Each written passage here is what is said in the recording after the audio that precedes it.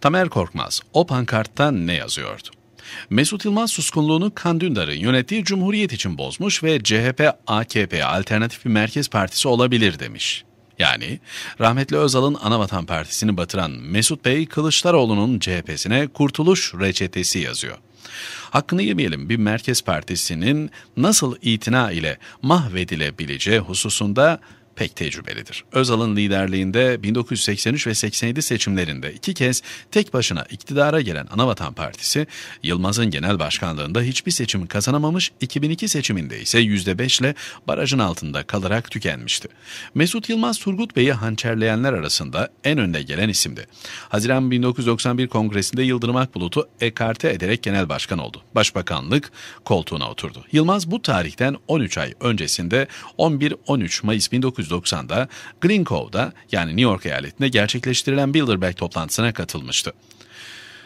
Rockefeller ailesine ait otelde yapılan toplantının önde gelenleri derin İtalya'nın baronu Giovanni Agnelli ile baronlar baronu David Rockefeller'di. Paul Wolfowitz de oradaydı. Yılmaz dışında Türkiye'den iki ünlü daha davetliydi. Biri CHP Genel Başkanı Erdal İnönü, diğeri Galatasaray'ın eski başkanlarından Selahattin Beyazıt. Mesut Yılmaz 2002 senesinde seçim yılı Ekranlarda Galatasaray'ı bu senede şampiyon yapacağız diye iddialı konuşmuş, Fenerbahçe taraftarları da Saracoğlu stadının tribünlerine sandıkta görüşürüz Mesut Bey diye pankart asmışlardı. CHP'ye reçete yazan Mesut Yılmaz mı? Cumhuriyet Gazetesi'nin sorularını Konrad Adoner Derneği'nin 30. yıl etkinliği esnasında cevaplamış. Yılmaz yıllardır Alman ekolüne bağlı bir politikacı olarak biliniyor. Almanya 2. Dünya Savaşı'nın bitiminden itibaren Amerika'nın sömürgesi durumundadır.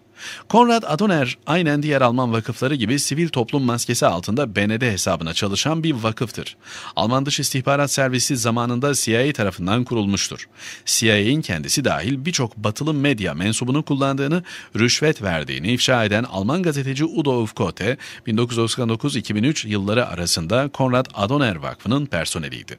Bu vakıfta görev yaptığı dönemde yabancıların girmesine izin verilmeyen La Colina villasıyla bütünleştiğini söylüyor. Gizli kuruluşların ağ örgüsüyle elit güçleri etrafında toplayan Rockefeller Vakfı'na ait Como Gölü kıyısındaki Bellagio'daki yani İtalya'daki dışarıya kapalı bir eğitim merkezinin varlığından da söz ediyor. Udo Ufkote'nin Satılmış Gazeteciler adlı kitabında geçen şu satırlar ilginçtir. Politikanın elitleri Amerikan elitleriyle buluşup siyasi kararları konuşacaklarsa o vakit La Colina villasından aşağı inip feribotla birkaç dakikalık mesafede Bellagio'daki Grand Hotel Villa Cerboloni'ye gidiyorlar. Oradan Rockefeller Vakfı'nın şoförü tarafından gizlice alınıp götürüyorlardı. Kemal Kılıçdaroğlu'nun genel başkan seçildiği Mayıs 2010'daki kurultayda divan heyetindeki 7 üyeden birisi olan CHP Samsun İlk Adım İlçe Başkanı Erkan Akyüz kısa bir süre önce partisinden istifa ettiğini açıkladı. Akyüz'ün sözleri pek manidardı. O günkü koşullarda genel başkan değişikliğinin partiye üme kazandıracağını düşünerek bir heyecana kapılmıştık. İşin perde arkasında sermaye güçlerinin bulunduğunu, CHP üzerinde emelleri olanların partiyi ele geçirmek üzere hamleler yaptıklarını ise ancak bu günlerde görebildik. O dönemde yaptığım hatadan dolayı bir komploya kurban edilen ve bizler tarafından sahiplenilmeyen Deniz Baykal'dan binlerce kez özür diliyorum. Kemal Kılıçdaroğlu CHP Grup Başkan Vekili olduğu dönemde Kasım 2009 tarihli Almanya Frankfurt ziyareti esnasında Deniz Baykal'a kaset operasyonu Mayıs 2010 yapılacağından enteresan bir yöntemle bir nevi kement atılarak haberdar edilmişti. CHP ile BND arasında bahsi geçen tarihteki derin görüşmelerin İstanbul'daki baronlarla bağlantılı olarak gerçekleştirildiği biliniyor. Takvim gazetesi Gürsel Tekin'in de Baykal'a kaset operasyonundan haberdar edildiğine dair ve BND ile pazarlık yapıldığına dair ciddi iddiaları Ağustos 2014'te manşetine taşımıştı. CHP'li Mustafa Özyürek, Tahta Bavulla Çıktım Yola Siyasette 40 Yılın Anıları adlı kitabında Kılıçdaroğlu'nu destekleyen Önder Sav'ın Gürsel Tekin'in MYK'ya girmesini istemediğini anlatırken şu satırları da yazmıştır.